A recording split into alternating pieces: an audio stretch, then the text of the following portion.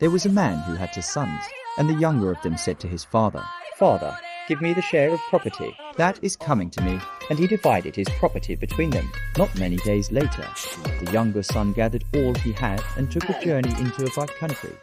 And there he squandered his property in reckless living. And when he had spent everything, a severe famine arose in that country, and he began to be in need. So he went and hired himself out to one of the citizens of that country, who sent him into his fields to feed pigs. And he was longing to be fed with the pods that the pigs ate, and no one gave him anything. But when he came to himself, he said, How many of my father's hired servants have more than enough bread?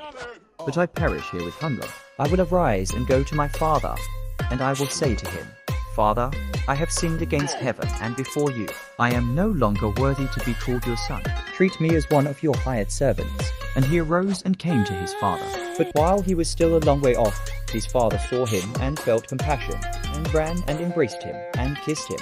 And the son said to him, Father, I have sinned against heaven and before you. I am no longer worthy to be called your son. But the father said to his servants, Bring quickly the best robe and put it on him and put a ring on his hand, and shoes on his feet, and bring the fattened calf and kill it, and let us eat and celebrate. For this my son was dead, and is alive again. He was lost, and is found, and they began to celebrate.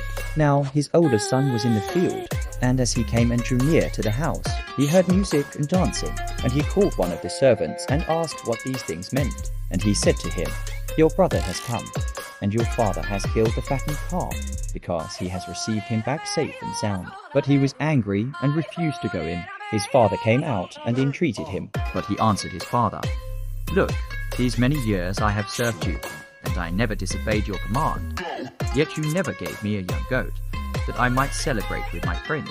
But when this son of yours came, who has devoured your property with prostitutes, you killed the fattened calf for him.